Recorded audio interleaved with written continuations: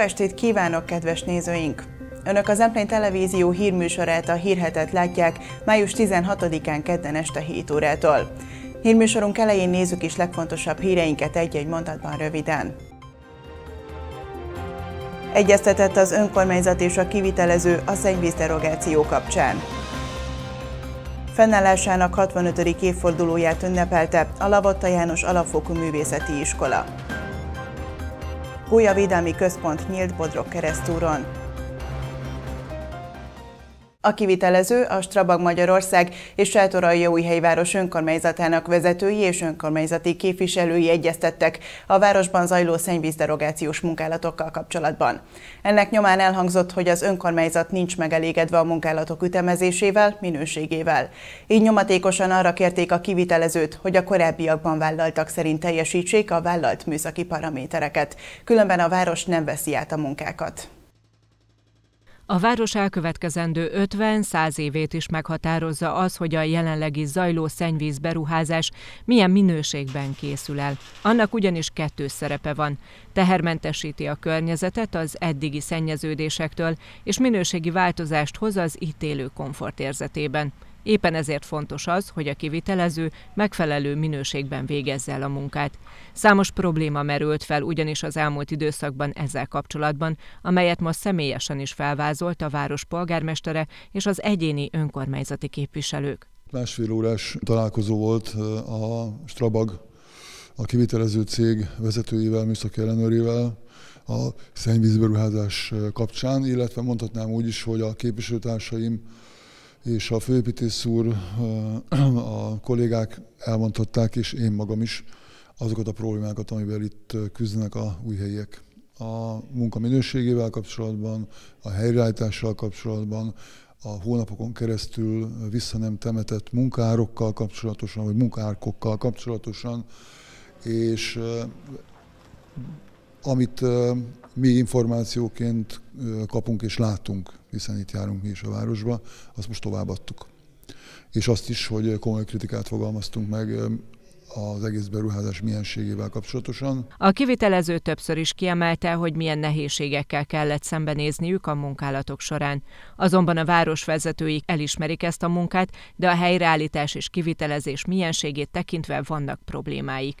Arra is felhívták a figyelmet, hogy bár többször kérték a lakosság együttműködését, türelmét, az az elmúlt időszakban igencsak elfogyott. Új ütemtervet kaptunk, kicsit szorosabb a határidő, talán hamarabb készül el a, a beruházás, mint ahogy ez terve volt véve, de dátumot azért nem mondok, mert meg kell, hogy mondjam, hogy teljesen nem vagyok meggyőzve arról, hogy ez így is lesz. Illetve azt kértük, hogy olyan, ö, olyan brigádok dolgoznak a városban, akik gyakorlottak, különösen majd a helyreállítás idején. Mert hogy nem mindegy az, hogy milyen utcák, járdák maradnak a, befe- a beruházás befejezése után egy nagy feszültség volt, senki nem rejtette véka alá a véleményét, de azt hiszem, hogy erre a tisztázó megbeszélésre és a további munkák folytatása kapcsán lévő odafigyelésre ma ki kellett térni, ez ilyen volt. Vannak feszült hangulatú megbeszélések, ez ilyen volt. A beruházásnak az eredeti tervek szerint ez év novemberéig kellene elkészülnie, de a város szeretné, ha megfelelő minőségben, ez sokkal hamarabb befejeződne. A 65 éves Lavatta János Alapfokú Művészeti Iskola tiszteletére rendeztek gálát a Sátorai helyi Kossuth Lajos Művelődési Központban. Dombovári János Imre igazgató örömét fejezte ki, hogy 150 diák mutatta meg az ünnepi műsor keretén belül az eddig megszerzett tudását. Az est folyamán a régi diákok is felléptek, így az iskola éveinek egyfajta megkoronázása volt a Lavatta gála. Az elmúlt 65 év számos nehézséget, örömet és sikereket is tartogatott az iskola számára. A nagy hagyományokra visszatekintő Lavotta János Alapfokú Művészeti Iskola idén ünnepli a 65. születésnapját. A jeles nap alkalmából egy gálával készültek a pedagógusok és a diákok a Sátorai újhelyi Kossuth Lajos Művelődési Központban. Dankó Dénes alpolgármester Sátorai újhelyváros nevében, majd Donkó József tankerületi igazgató is köszöntötte jubileumi születésnapját napján az intézményt. Dombóvári János Imre igazgató ünnepi beszédében kiemelte, hogy az intézmény több mint tíz nemzedéket szolgált ki sátorai új helyen zenét vagy egyéb más művészeti ágakat tanulók közül. Körülbelül 150 diák fog fellépni, ugye a táncosokkal együtt, hiszen ez egy összművészeti gála, és a, a műsorok pedig gyakorlatilag borzasztó nagy ö, változatossággal próbáltuk ugye összeállítani, ö, nem csak növendékeinket ö, fogjuk szerepeltetni, hanem volt növendékeinket, volt zenei pályás növendékeinket, továbbá azokat a nyugdíjas kollégákat is megkerestük, akik az utóbbi pár évben elhagyták már az intézményünket, viszont volt kedvük visszajönni, és akár egy ilyen közös szereplés erejéig, akár pedig csak a fogadáson való részvétellel, tehát mindenképpen ők is velünk ünnepelnek, úgyhogy én úgy gondolom, hogy mindenképpen egy szép estének nézünk elébe. A gyerekek izgalommal készültek erre az estére. A gyerekek lelkesek, tehát uh, én azt mondanám, hogy, hogy uh, ezzel nekünk olyan különösebb problémánk azért nincs, mert ugye évközben folyik a, a éves rendszer is, rendszeres munka, és uh, maga a gálának a, a megszervezése, ez nyilván több időpont, több próbát jelent, nem feltétlenül több zenei anyagot, amit meg kell tanulni, úgyhogy önmagába véve azért nehéz, hiszen rengeteg más program is van, ugye az általános iskolákban közeledünk már a, a nyári szünethez, évvége van, és most már ugye egyre kevesebb, nehezebben tolerálják azt, hogyha ha túl sokáig tart a próba, de úgy gondolom, hogy, hogy a ma este látható lesz, hogy ezt gyakorlatilag mennyire tudtuk kifitelezni. A gála végén egy ismert dallal búcsúztak a zeneiskola régi és jelenlegi tanulói, amit vastapsal köszönt meg a közönség.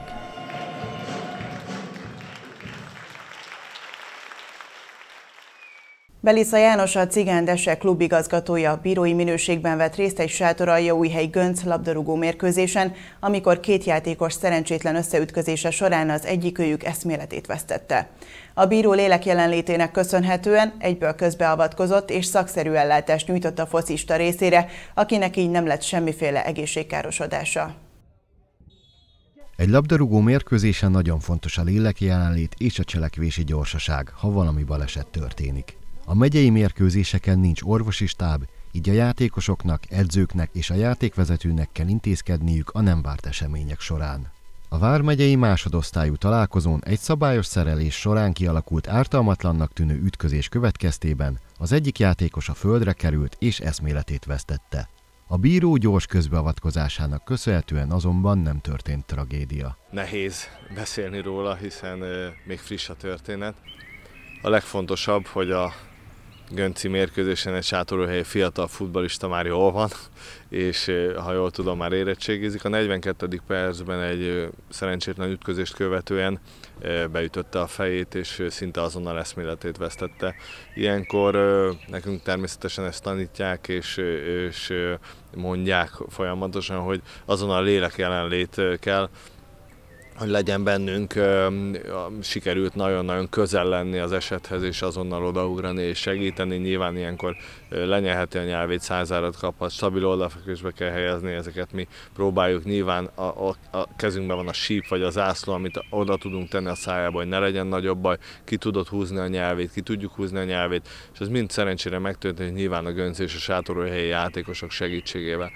A játékos a félidei szünet alatt teljesen ki tudta heverni a balesetet, és a második félidőben vissza is tért a pályára. Az eszméletét még ekkor nem nyerte vissza. Ezek ilyen nagyon hosszú időnek tűntek, hosszú-hosszú perceknek, ezek másodpercek voltak igazából az életben, amit, amit ott megéltünk, de ekkor, hála jó Istennek, feleszmélt a játékos, és ekkor a stáb, Kisbandi bácsi, Kis András, technikai vezető úr, a Sátorhely technikai vezető úr, és a vezetőedző Nagy Zsolt is azonnal a pályán volt több Gönc és játékos segítségével, akik mindannyi, mindannyian szakszerűen látták el tovább a játékost. Szünet következett, és így durván 15-20 perc múlva vissza tudott térni a játéktérre, amelyet a stáb engedélyezett neki, és a játékos is kért, ha jól tudom, és utána pedig a csapatának, hát ha nem is a győztes gólját, de az ötödik gólját szerezte, hiszen ekkor már 4-0-ra vezetett a hely. A meccset vezető Belica Jánosnak nem ez volt az első hasonló esete. Pedagógusként Pécset és Nyéklátházán, játékvezetőként pedig tízesztendővel ezelőtt egy edelénysajó bábony találkozón kellett ugyanígy közbeavatkoznia. Átettek a Gólyavédelmi Központot Bodrog keresztúron. A 180 négyzetméteren megnyílt tárlat interaktívan ismerteti meg a madárvédelmet az érdeklődőkkel. Jelenleg csak hétvégi időpontokban várja majd a látogatókat. A kiállítás ötletgazdája Petrovics Zoltán volt, aki mindent saját kezüleg készített az interaktív tárlat elemei közül. Ünnepélyes keretek között adták át a Gólya Védelmi Központot Bodrog keresztúron. A település évek óta nagy figyelmet fordít ezekre a madarakra, hiszen Bodrog keresztúr néhány éve Gólya fellegvár is lett. A kiállítás mintegy 180 négyzetméteren kínál lehetőséget arra, hogy a kicsik és a nagyok interaktív módon kerüljenek közelebb a madárvédelemhez, különösen a gólyákhoz. Az ünnepélyes megnyitón dr. Kont Zsófia országgyűlési képviselő és miniszter helyettes is részt vett. Elmondása szerint ez a tárlat egy nagyon fontos pillére lesz a turizmusnak. A gólyával kapcsolatban mindenkinek van egy kedves története. Valahogy a magyar néplélek nagyon-nagyon szorosan kapcsolódik a gólyához, akár a gondoskodásról van szó, a kisgyerekek vagy a szülők iránt, illetve nekünk is volt kedves történetünk a gólyával kapcsolatban, és azt, hogy ezt meg tudjuk mutatni a fiatalabb generációnak, szerintem ez nagyon fontos. És hát az a helyzet, hogy Bodrog keresztúr egy abszolút turisztikai célpont is, és így, hogy a kerékpárút hálózat teljesen majd kiépül, illetve itt vagyunk a vízpart közelében, azt gondolom, hogy a jövőben ez egyértelműen egy nagyon fontos turisztikai célpont is lesz. A Zöldkör elnöke Molnár Antal híradónknak elmondta, hogy jelenleg a Gólya Védelmi Központ egy interaktív tárlatra ad lehetőséget, azonban a későbbiekben több tervük is van. A későbbiekben szeretnénk egy olyan voliárt kialakítani, ami, ahol össze lehetne gyűjteni begyűjteni azokat a sérült gólyákat, amelyek itt a bodrog mentén, a bodrog közben áramütés, távvezetékek által okozott sérülések miatt nagyon sok golya esik egyébként áldozatul, és akkor innen néhány naponta tudnánk elszállítani azokra a gyógyító helyekre, mint például a Hortobágyi Madárkórház vagy a Mályi Madármentő Állomás. Bodrog keresztúr polgármestere Rozgonyi István kiemelte, hogy a régi zsinagóga épülete jelenleg hétvégi nyitvatartással várja majd az érdeklődőket. Itt egy olyan tartalmas délutánt lehet eltölteni egy osztályjal, ami tényleg egy, egy közel hozza a gyermekeket. Tehát nem csak játszva, játszva tanulnak itt a gyermekek, és nagyon fontos, hogy egy olyan kiállítás született meg Bodrog keresztülben ma, ami péntektől vasárnapig már nyitva van, de utána tervezzük a további nyitvatartását is.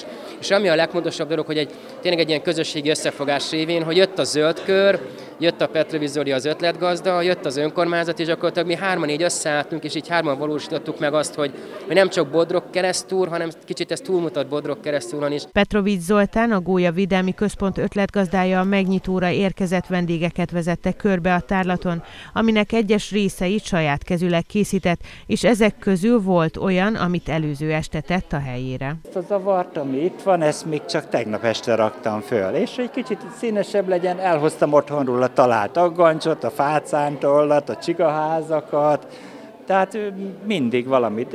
Ezt csak azért hoztam fel példának, hogyha találok megint az erdőbe valami szép dolgot, mint egy fagombát, akkor azt is ide hozzuk. Petrovic Zoltán hozzátette még, hogy a kiállítással kapcsolatban az volt a motivációja, hogy valamit hagyjon maga után az utókornak, így a központ recepcióján egy kézzel rajzolt gólya térkép is helyet kapott. Dr. Petercsák Tivadar tartott előadást Sárospatakon, a hegyaljai szőlőművelés és borászat története, egy 50 éves kiállítás emlékei és inspirációi címmel. A néprajzkutató az utolsó szakemberek egyike, akik még élnek a tárlat egykori berendezői közül, így első kézből tudott mesélni a megvalósulásról, annak nehézségeiről, izgalmairól és persze a kiállítás későbbi szakmai hatásairól. Fél száz esztendővel ezelőtt pótolták azt a hiányt, hogy korábban nem volt bemutatva a szőlészet és borászat múltja Tokajhegyalja területén múzeumi keretek között. Az évfordulóhoz kapcsolódóan tartott előadást a Magyar Nemzeti Múzeum Rákóczi Múzeumában Sárospatakon dr. Petercsák Tivadar, aki fiatal pályakezdőként részt vett a tárlat berendezésében. Ez a pinceákban található, és igazából Tokajhegye a legnagyobb ilyen témában létrehozott kiállítása. Ez jelzi, hogy ez a 70-es évek eleje, akkor még szép számmal be tudták gyűjteni azokat az arhaikus darabokat, amelyek ma már tényleg történelmi visszatekintésként csodálhatók meg, hogy a szőlő és bor fel feldolgozás és a szőlő művelésnek milyenek is voltak az eszközei, és szeretik a látogatók, és nagyon kellemes szakmai részről is a visszhangja ennek a kiállításnak. Természetesen ez nem azt jelenti, hogy 50 esztendeje nem nyúltunk hozzá, hanem az, hogy a szakmai koncepciója, a tárgyai nem változtak. Petercsák Tivadar ennek a kiállításnak a berendezése közben tanulta el a szakma fortéjait, ahogy ő maga fogalmazott előadásában de a néprajzkutató arra is büszke, hogy gyűjthetett tárgyakat a tárlathoz, melyek most is láthatóak. Jóformán már magam vagyok, a, aki vissza tud emlékezni ennek a kiállításnak a elkészültére. Itt eh, Janu Ákos nevét kell megemlítenem elsőként, aki akkor a múzeumigazgatója volt, 68-tól 20 éven keresztül, és benne vetődött fel Balassa Ivánnal közösen az a gondolat, hogy a Pataki várban eh, kellene egy szőlészeti borászati kiállítást csinálni, hiszen a vár birtokosai, Lorántfiak, Rákóciak, majd a Vindésgrécek is hatalmas szőlőbirtokokkal rendelkeztek, és Tokaj hegyalja eh, világhírre tett szert az Aszú révén, tehát helye volna egy ilyen nagy látogatottságú intézményben egy ilyen kiállításnak. És szerencsére a 70-es évek elején állították helyre azt a pinceágat, amelyik a amelyik a vár keleti északi oldalán van, ami kiváló lehetőséget adott erre. Az előadásban arról is szó esett, hogy a kiállítás milyen inspirációkat adott a későbbiekben a kutatóknak, és milyen hatásokkal bírt. Hírműsorunk végén nézzük legfontosabb híreinket ismét egy-egy mondatban röviden. Egyeztetett az önkormányzat és a kivitelező a szennyvízderogáció kapcsán. Fennállásának 65. évfordulóját ünnepelte a Lavotta János Alapfokú Művészeti Iskola. Védelmi Központ nyílt Bodrog keresztúron. Köszönöm megtisztelő figyelmüket, holnap a megszokott időben ismét jövünk a legfrissebb hírekkel, viszontlátásra!